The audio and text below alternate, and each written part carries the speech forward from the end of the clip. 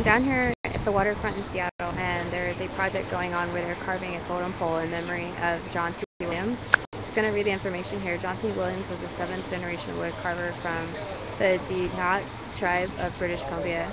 Um, John was a master carver since the age of 15. His great grandfather was the first first sold totems and other carvings to a shop over 90 years ago. John works another family projects. Pieces are displayed all over Seattle, White House, and even Smithsonian.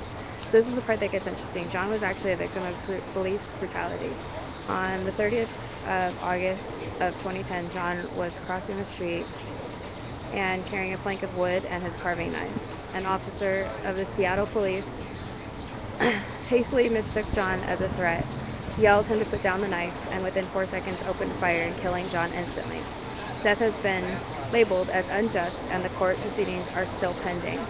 Um, so therefore, his brother um, was commissioned to carve these totems. So I'm going to swing around and get a shot of the totem poles that are being carved in John's memory.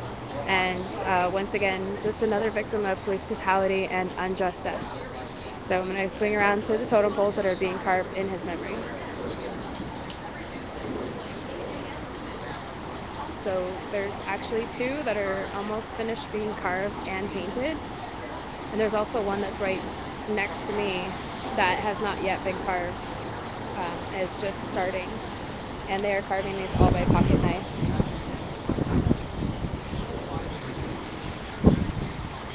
You got a lot of support?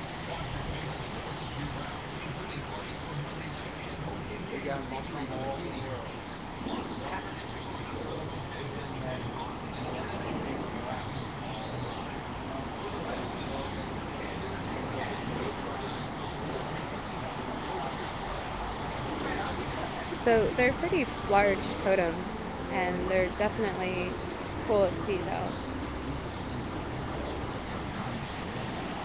And it's kind of hard to capture them, like how they actually look.